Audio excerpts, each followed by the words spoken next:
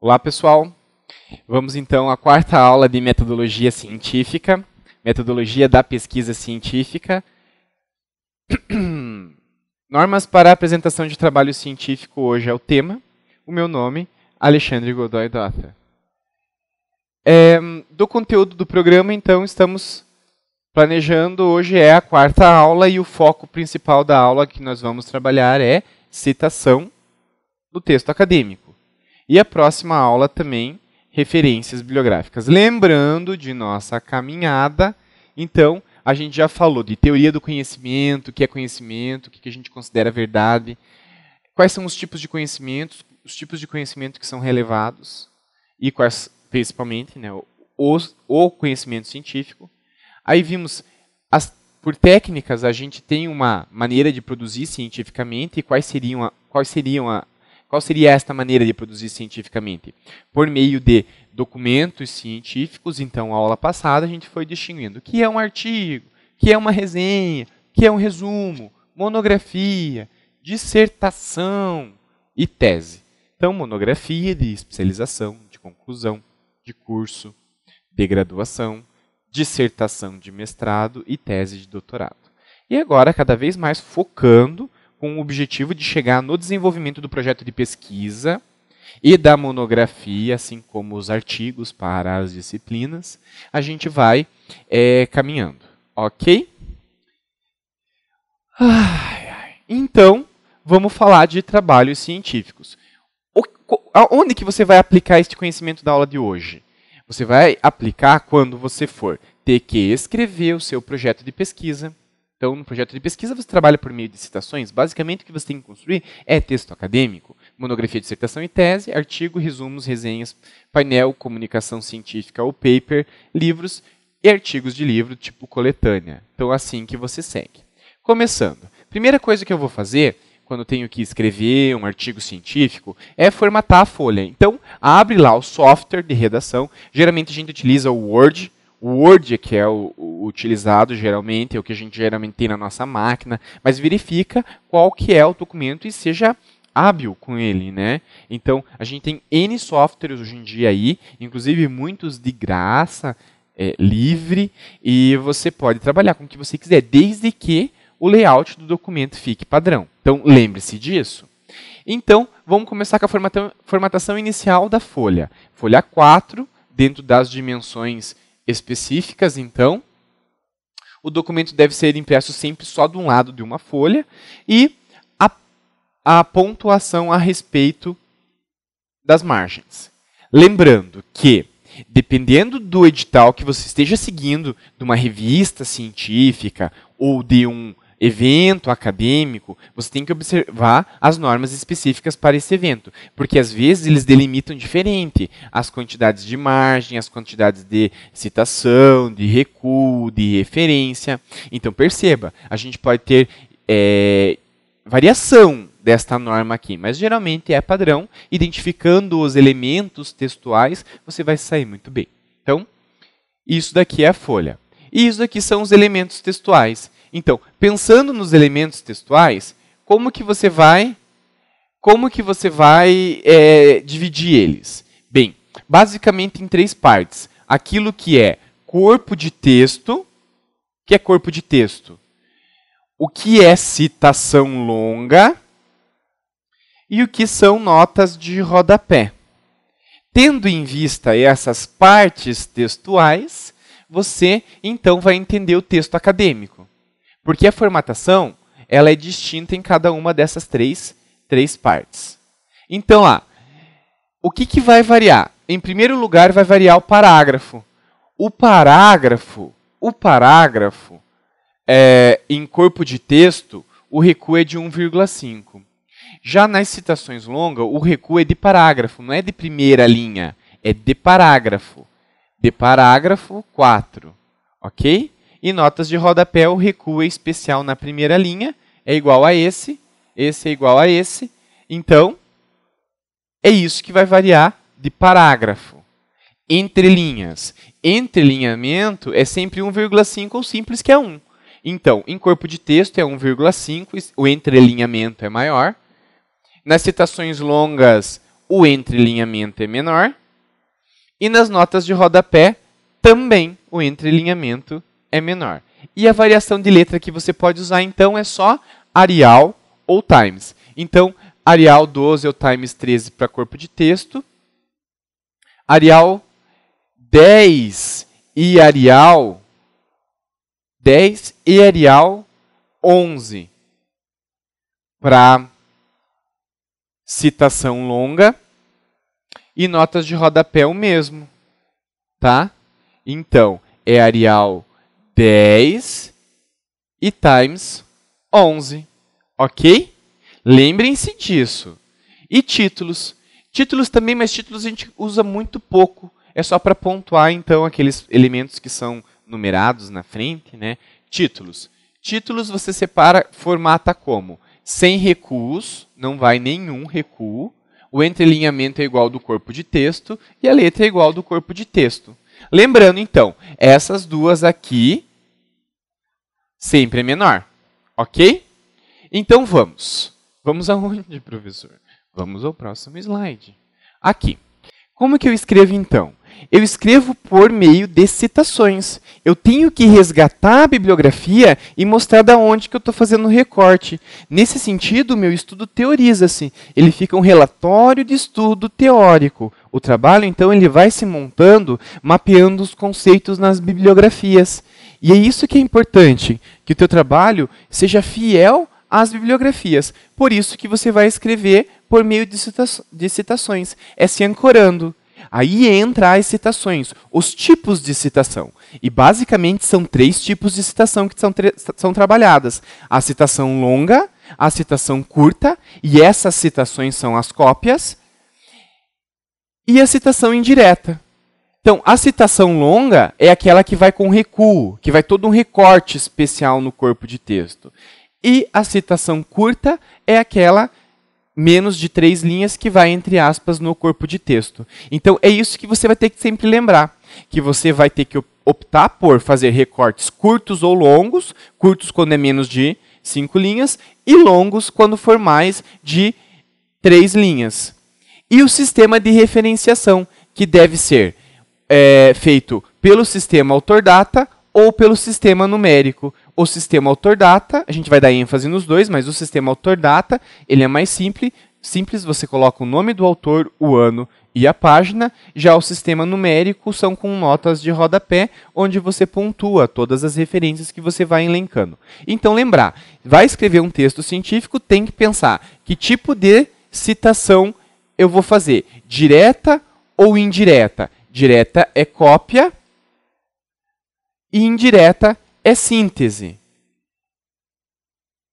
Lembrar que diretas são curtas, curta com menos de três linhas, e longas com mais de três linhas. Ok? Então, a primeira citação, a citação mais importante é a citação longa, aquela que tem mais de três linhas. Ela deve ter o recuo de 4 centímetros no parágrafo. Porque a outra citação, a citação curta, é que tem até três linhas, ela vai entre aspas dentro do corpo de texto. Então a formatação lá é de corpo de texto. Aqui não. Aqui a formatação ela tem que dar um destaque maior. É como se fosse assim. Eu tinha um professor que, quando ia explicar isso para mim, ele falava: vai abrir a cortina e vai fazer um espetáculo. Agora o autor vai falar. A doutrina o pensamento, o pensador, o teórico, o filósofo. Então, é, cuidado com o recorte que você vai fazer. Hum, às vezes é muito importante pensar a respeito dele, porque eu que vou estar tá lendo você, às vezes vou achar que o recorte que você fez é um, um, recorte muito banal, é um senso comum, você não está fazendo recortes bem feitos. É aquela parte muito importante, então, que você vai copiar. No resto, você procura fazer citação indireta, síntese e condensação. No meio das minhas citações vai aparecer o quê? Vai aparecer termos que eu vou poder utilizar, como por exemplo, a omissão. A omissão a gente lê bastante, então a gente vê no que a gente está lendo a omissão que aparece. Quando ela aparece, então, no meio desta citação aqui, curta, ela abre aspas, porque é citação curta, e faz reticências. Reticências, três pontinhos. Significa que tinha mais coisa escrita aqui. Eu recortei. É exemplo do exemplo. Aí abre parênteses e mais três reticências. Significa que teve uma omissão no meio, no meio do meu recorte. E depois a omissão de fim também, que é sem, sem colchetes. Desde que você faça padronizado, a regra é essa. No início não tem parênteses, no meio tem parênteses e no fim não tem parênteses. Mas se você deixar tudo com parênteses e padrão, perfeito, porque norma é padronização, não vai ter erro aí, tá ok? Então lembrar que omissões às vezes podem ser bem-vindas. E depois aqui tem a referência então autor data. Quem que é o autor? É Silva no ano de 2005 e na página 23 e 24, ok? Existe aqui uma cópia feita entre as páginas, né? É da 23 até a 24. Se fosse 25, seria 23 até a 25. Mas ninguém copia tudo isso. Aí só poderia ser uma citação indireta, porque ninguém vai copiar três páginas de um livro, ok? A interpolação. A interpolação é um acréscimo. Veja isso daqui. Pode. Aqui, o da humanidade. Então, a teoria descreve que os direitos, aí ele Quais direitos? Ah, os direitos sociais foram conquistados ao longo da história, da história, da humanidade. Então, cuidado, às vezes isso não é relevante ficar pontuando, alterando, acrescendo a ideia do autor. Seja fiel à ideia do autor. Lembrando, a referência sempre com página. E daí vai indo. Então, isto é um exemplo de interpolação. Aqui, ênfase e destaque. A gente percebe também que tem autores que gostam de escrever muito assim, dando ênfase, dando destaque. Como que você vai fazer no seu trabalho? No seu trabalho, eu geralmente opto por uma maneira mais informal de, de fazer o grifo. Então eu coloco lá, copiei, é com grifo no original, é igual do autor, com grifo no original. Não, é eu que estou grifando, então é sem grifo no original. Então, grifo meu, grifo nosso, isso daqui é muito é, mais, é, não sei, é muito informal. Então, aqui fica mais formal. Então, você que você que opta por. Então, escolha um e determine a sua forma padrão.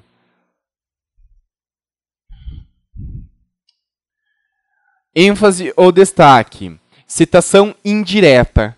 A citação indireta, então, é aquela redação que você mesmo escreve. É uma redação escrita por você, com ideias ideias de outros autores. O ideia agora não tem mais acento. Tem que arrumar o slide. Pode aparecer de forma de paráfrase. A ideia é condensar ideias. Parafrasear. É, apoiado naquele livro, você diz isso. Tá? Você não tem domínio da história do Brasil, mas você foi lá e leu o livro História do Brasil e veio aqui e disse. Tá? O resumo que você faz do livro numa redação sua, que porque você está condensando, resumindo, sintetizando, você não está copiando nada, você só está condensando as ideias de páginas e páginas de história. Aí você faz, então, uma citação no final só para dar suporte né, aquela toda aquela informação que você trabalhou. Quando datas, né, quando foi é, fundada a primeira imprensa no Brasil. Essas coisas a gente não sabe do nosso dia a dia, do nosso cotidiano. A gente sabe datas cívicas, a gente sabe é, coisas aqui, a colar, especificamente algumas coisinhas que a gente acumulou, mas e ficou, né, memorizou. Mas a história a gente não tem domínio mesmo dela. A gente precisa de livros e revisão bibliográfica para poder falar dela. Então você faz sua revisão, condensa as ideias, resume, faz uma síntese e depois ainda coloca a referência, tá? A paráfrase ela está inserida dentro do corpo de texto. Então, quando você for fazer paráfrase, o tipo de redação que você é, faz é o tipo de redação corpo de texto. Nós só temos três tipos de é, elementos textuais. O primeiro é corpo de texto, Arial 12, recuo na primeira linha de 1,5 e entrelinhamento de 1,5. Citação longa, que é a citação com recuo de 4. Entrelinhamento menor e letra menor. Entrelinhamento simples, letra Arial 10 E notas de rodapé. Arial 10, entrelinhamento menor e recuo de primeira linha de 1,5. Então, lembrar disso. Aonde que vai esta ideia no meu texto? Sistema autor-data. O que, que é o sistema autor-data? É o sistema de referência. É quando aparece este parêntese aqui, ó, e ele está me dizendo o quê? O que está me dizendo esse parêntese? Está me dizendo quem é o autor, sobrenome só, em caixa alta, o ano da publicação da obra, daquela edição que eu peguei, pode ser outra edição ainda, e a página específica da minha citação. É muito importante que você mapeie as páginas que você pegou. Principalmente da parte que você copia diretamente. Porque da parte que você copia indiretamente, você tem um intervalo de páginas tais a páginas tais. Sinteticamente, o autor resumiu as ideias de pensamento humano em 15 páginas, da página 130 a 145. Aí você fez um resumo lá, um parágrafo sintetizando os três eixos que o autor falou a respeito do pensamento do homem. E no final, você joga uma referência para dizer que aquela síntese foi extraída desta bibliografia. Daí coloca o intervalo de páginas, 130 a 145, daquele autor daquele ano. Ok? Então tá. Existe o outro sistema. Tá? O outro sistema é indicado por nota de rodapé. É o chamado sistema numérico. O sistema numérico, ele é um pouquinho mais complexo. Mas você, quando for fazer trabalhos acadêmicos, perceba qual que é a exigência da escola, da, da faculdade, da universidade. Por quê? Porque, ou, melhor, do edital que você está seguindo, do congresso que você vai, da revista que você está enviando. Porque tem revista que só aceita este sistema. E tem revista que só aceita esse sistema. Não tem revista que aceita esse e esse. Não, os dois. Não. É sempre assim, ou é esse ou é esse. Então veja como está se comportando a sua área, tá? Eles eles brigam entre eles, ok? Então falando do sistema numérico primeiro. Então do sistema numérico você utiliza termos em latim. O termo de latim que aparece é o opsite, que é o pericitato, o ibidem, o ibide e o idem, tá ok? Como que funciona? A primeira referência que você faz é uma referência completa. Então você fez a citação no corpo de texto, jogou a nota de rodapé, e a nota de rodapé que você faz é uma referência bibliográfica completa. Então aqui é uma referência bibliográfica. Autor, nome, sobrenome, nome. Lições preliminares de direito é o, o, o título da obra. Edição, local, editora, ano e página. Página da citação da página 10 à página 13. 10, 11, 12, 13. Quatro páginas. Você acha que ele fez uma citação direta ou ele fez uma citação indireta? Ele fez uma citação indireta. Porque ele copiou quatro páginas? Não, não dá para copiar quatro páginas, dá para copiar um parágrafo. Dá para copiar um, um, uma síntese do autor, né, o que realmente é importante do texto dele, mas quatro páginas não dá para copiar. Então, uma citação indireta. Aí embaixo ele fez idem. O que, que significa idem? Significa que é exatamente igual ao anterior. E ibidem que mudou a página. É a mesma obra, mas mudou a página. Então aqui foi da 10 até a 13 para a página 10 até a 13 para a página 11. E aqui? Aqui trocou a obra. Quando troca a obra do autor, eu tenho que fazer, nesse caso aqui, como é primeiro, eu faço a referência completa. Mas depois eu vou utilizar o opsite. Aqui então, de Sumfeld foi para Reale. De Reale, Reale agora, Opsite. Opsite. Por que Opsite? Porque já foi citado anteriormente. Então é Reale, que já foi citado anteriormente na página 10. Sumfeld, que já foi citado anteriormente na página 34. Reale, que já foi citado anteriormente na página 12. Reale, que já foi citado, né? E Reale, página 100. Reale, página 100. Reale, página 57. Reale, página 57. Sumfeld, Sumfeld, que já foi citado anteriormente. Ah, qual que era mesmo? Ah, tá aqui, Fundamentos. É, página 34. Reale, que já foi citado anteriormente. Ah, qual que era mesmo? Lições. Lições, página 41. Ok? Então, quando troca o autor, e se ficar troca de autor, sempre upsit, upsit, upsit, upsit, upsit em qualquer parte do trabalho. Primeira vez que coloca a obra no negócio, coloca a bibliografia, ela completa com a página, sempre lembrando, página, só idem que não tem página, ah, idem que não tem página, porque idem é igual ao anterior. Então aqui é página 100. Então está falando da página 100, tá ligado ainda. OK? Isso é sistema autor não, esse não é o sistema autor data. Esse é o sistema numérico, que a gente vai pontuando página por página. Aqui só estão as notas de rodapé descolado do texto. Depois a gente vai ver junto. Beleza. A primeira citação que aparece. A primeira citação que aparece é um recorte feito de um trabalho acadêmico dos alunos de especialização em gestão. E ele fala o seguinte: função compras. É uma citação direta curta. No função compras, ele abre aspas aqui, o aluno, a necessidade de comprar produtos e vai embora. Tu, tu, tu, Alternativos. Fechou aspas. O que, que significa isso? Que aqui ele não copiou, aqui é a redação dele. Aqui ele abre aspas, começa a copiar, copia, copia, copia, copia até aqui, né? E faz a referência. Da onde que ele tirou isso? Aí eu vou lá nas bibliografias e olho, né? Deste autor, deste ano, e exatamente desta página. E daí continua.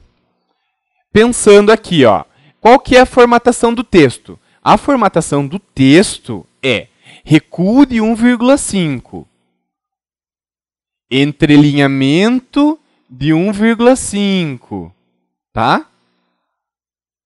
E Arial, Arial 12, ok? A, A de Arial. Beleza? Então lembrar da formatação também. Beleza. Citação direta curta e longa, as duas juntas. Vamos lá. Primeira coisa. Título. Título recuado à esquerda, 1,5. Aí começa o texto. O texto que aparece primeiro é um corpo de texto. Isso tudo aqui é corpo de texto. Significa que é Arial 12, ok? O entrelinhamento é 1,5 e recuo na primeira linha de 1,5 também. Aqui dentro tem o que? Tem uma citação. Uma citação direta curta. Abre aspas. Aqui, fechou aspas. E daí a referência. Vasconcelos, o ano 111. Ok?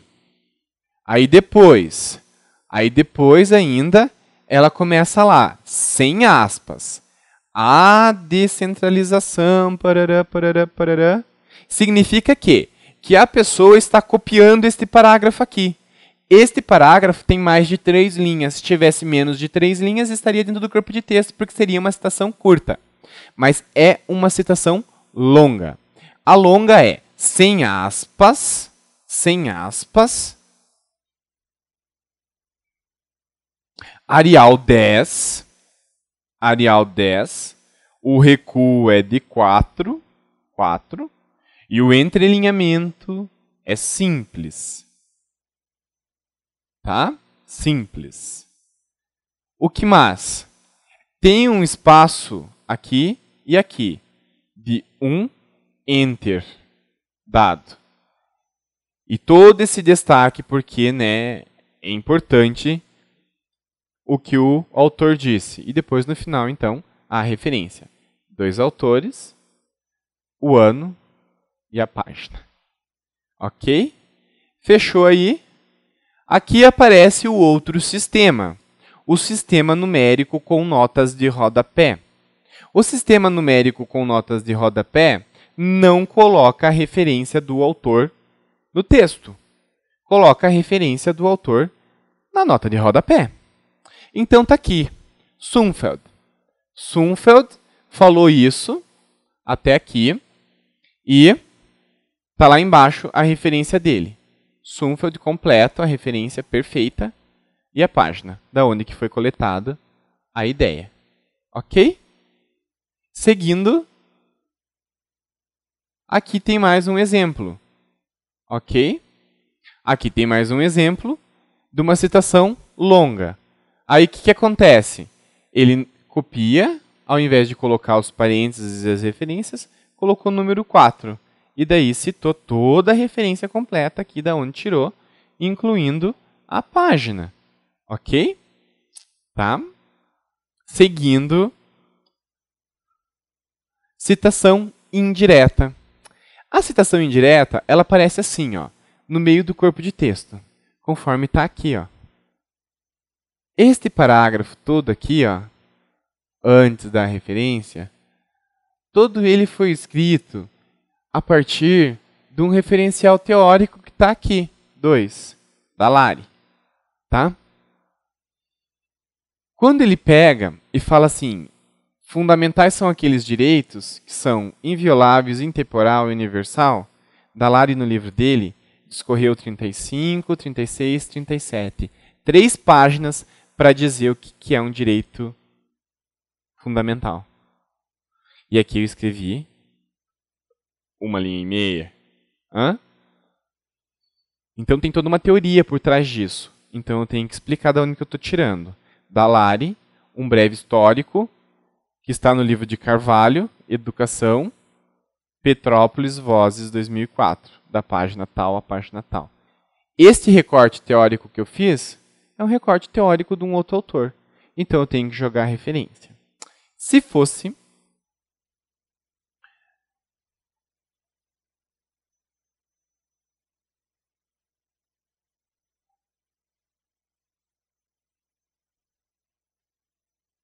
Se fosse uma citação é, autor-data, ficaria desta maneira.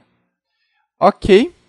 Expressões utilizadas em nota de rodapé. Lembrando, pode ser que apareça um APUD. APUD é citação da citação. Você está lendo o autor chamado Silva e Silva citou Lopes. Aí você quer colocar Lopes, que Silva citou no seu trabalho. Como é que você faz? Lopes, APUD, Silva. Então, APUD é utilizado muito ainda CF significa confer. Confer é compare, confronte, confirme. Esta ideia é transmitindo que você tem que. Olhe lá, veja como isso é importante. Veja no site, CF e daí o site lá. etsec. Etsec vai junto à página e significa e continua. Quando você coloca no rodapé página e continua, significa que continua até o final da obra. Então, a, a, teoria começa a ser descrita na página 115 e vai até a página final da obra. Tá? Ibid, que significa ibidem. Idem, que também pode ser id. Opsit, que é o opere citato. Tá? E como que fica um exemplo de um opsit aqui. Então, esses são os termos utilizados nas notas de rodapé. E para fazer referência e o sistema de referência, como é que fica tudo nisso? Bem, agora eu passo a falar de referências bibliográficas. A todo momento que você escreve, você escreve por meio de citação e você tem que citar as referências bibliográficas que você utiliza. Principalmente, você utiliza livro. Então, livro é a referência básica que você tem que ter. É bom que você tenha assim ela em mente, decor. Como que se faz referência de livro? Sempre em primeiro lugar coloca a autoria, em segundo lugar o título e subtítulo da obra, em terceiro lugar o número da edição, que só é pontuado a partir da primeira, a primeira nunca se coloca então, o local que é sempre cidade, a editora, que é só o nome da editora, e o ano de publicação da obra. Então, esta aqui é a sequência obrigatória para fazer referência bibliográfica. Bem, Existem N especificidades que acontecem aí, tá ok? É, de autoria, de títulos, de subtítulos, e são. Vamos lá. Aqui, então, o nome começa em caixa alta. Então, sobrenome e nome, sempre. Fundamentos de metodologia científica é o título da obra, ganhou subtítulo aí, é negrito, é itálico ou sublinhado. Você que escolhe, mantenha padrão. Teoria da Ciência e Prática da Pesquisa é subtítulo. 19D é o número da edição, Petrópolis é o local, Vozes a editora e 97 é o ano da obra. Ok? Um ótimo exemplo de livro de metodologia.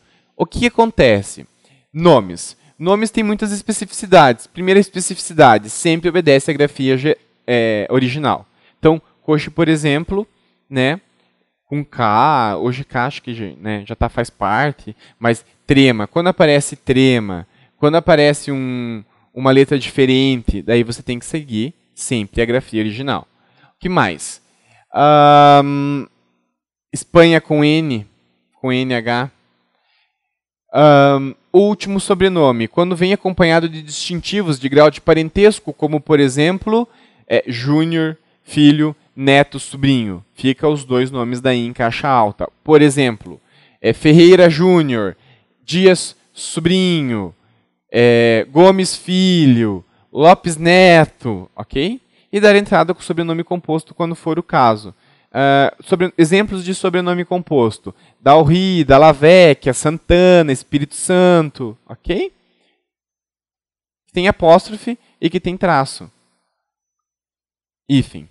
Dar entrada com a partícula do nome é, quando for precedido. Então, sem entrada. O nome assim, Luiz Inácio Lula dá. dá e o Silva sozinho lá na frente.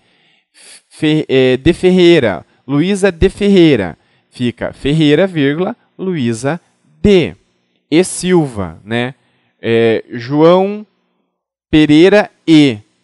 Aí o Silva lá na frente, ok? Títulos de formação profissional são ignorados. O cara é juiz, o cara é ministro, o cara é secretário, o cara é qualquer coisa, pouco importa. Tá? Doutor, não importa. Na bibliografia, não importa mesmo. É sobrenome e nome. Agora, quando for de título religioso, sim, coloca. Por exemplo, João Paulo II, Papa. Bento XVI, Papa, Pedro, vírgula, Padre, uh, Dulce, vírgula, Irmã, e assim vai. Quando o documento apresentar dois autores, é separado por ponto e vírgula, sobrenome e nome, ponto e vírgula, sobrenome e nome. Até três pessoas, sobrenome, nome, sobrenome, nome, sobrenome, nome. Quando for mais de três pessoas, a gente utiliza o termo et al, que significa e outros. Aí você coloca só o primeiro e et al primeiro e é tchau. Quantos podem ter daí? Qualquer um. Sei lá, quantos quiser. Quantos tiver. Sei lá, não fala-se. E outros. Simplesmente, quem que vai ser o primeiro? O primeiro que está em ordem lá. O primeiro que aparecer, sobrenome e nome é tchau. Ok? Se tiver até três, coloca os três. O autor escrever com pseudônimo, então você coloca é, o nome verdadeiro indicado nos colchetes. Isso é raro acontecer, geralmente em concurso de artigos de artigos isso acontece, que daí você escreve com pseudônimo. Entidades coletivas, no caso aqui, de entes do Estado, Brasil, Ministério da Economia, Secretaria do Abastecimento, isso tudo é só para indicar, de contabilidade, isso é só para indicar qual que é a responsabilidade daquele documento. Quando é siglas conhecidas, como no caso IBGE, ok, IMETRA, ok, aí não precisa colocar a sigla completa. Mas é bom especificar porque Brasil, muita coisa é Brasil. Peraí, Ministério da Economia, ainda assim, tá muita coisa. Então vai especificando sempre. Isso tudo antes de colocar o título. Só estou falando de especificidades de autoria. Às vezes cabe um acréscimo. Aí você pegou lá um documento de uma biblioteca e de uma outra biblioteca, trabalhando uma questão lá de informação. Aí é importante acrescentar, no caso aqui, aqui outro exemplo de uma entidade coletiva, que mais? Eventos científicos. Às vezes você vai no evento científico e daí você quer citar o evento científico. Então aqui tem um exemplo de autoria. Então aqui responde o evento científico que estudou a respeito do assunto. Aqui existe obras do tipo coletânea. Obras do tipo coletânea são aquelas obras que aparecem assim: editor, com, é, compilador, coordenador, organizou, organizador, organizadores, às vezes também no plural. Uh, o que, que significa? Significa que essa obra é coletânea. Ela é organizada por uma pessoa, coordenada por uma pessoa, mas várias pessoas escreveram. Aí acontece a publicação de artigo de livro. Eu envio um artigo de livro para o livro e o livro é publicado com o meu artigo dentro de eixos temáticos. Ok? Que mais? Autoria desconhecida. Então aqui é, um, no caso, um, um livro famoso, né, o filósofo inglês, que ninguém sabe a autoria. Então como é que fica? Fica em caixa alta a partícula inicial do título da obra. O filósofo, que é a parte inicial, e depois vai local, editora, ano, se for o caso, a página. Ok? Título. Especificidades de título. Deve aparecer sempre com destaque, negrito, itálico ou sublinhado. Usar letra maiúscula somente quando a inicial for nomes próprios ou a primeira palavra do título. Deve ser transcrito, o subtítulo deve ser transcrito após o subtítulo e ele é sem, sem destaque. Ok? Que mais? Edição. Edição como que é colocada? É sempre colocada da, desta forma, ó. Desta forma. O número ponto ed ponto. Uh, acontece termos acrescidos lá. Revisado. Então, segunda edição revisada. Revisada e atualizada. Reimpressa e assim por diante. Então, edição. Como que se especifica edição em uma é, bibliografia? Imprenta. Imprenta é esta sequência de local, editora, ano. Local, editora, ano. Sempre o local é a cidade, editora só o nome da editora e a data da publicação, o ano. Ano. Ok? Local.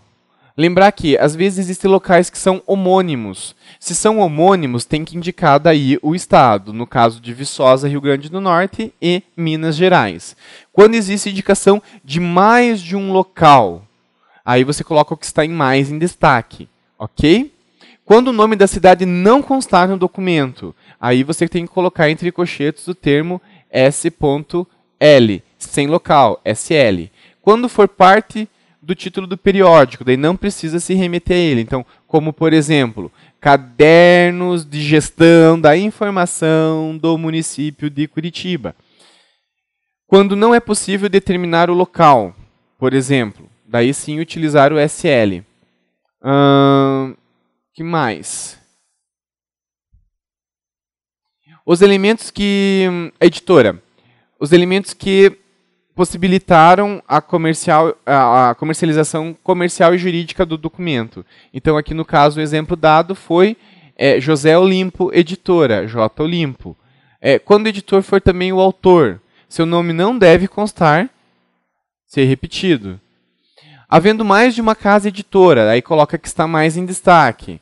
Quando o editor não é mencionado, daí sim pode ser colocado sem nome de editor, da casa editora. Então é sem nome de editora, tá? Quando não tiver o local e não tiver editora, cuidado, porque qualquer livro eu jogo lá na internet e descubro qual é a origem dele. Eu consigo, tendo o autor, tendo o título da obra, eu consigo o local, editora, o ano, consigo quase tudo, às vezes o documento online, ok? Por quê? Porque tudo hoje está na internet. Mas é, a gente encontra muita informação a respeito do livro. Se o livro existe, encontra.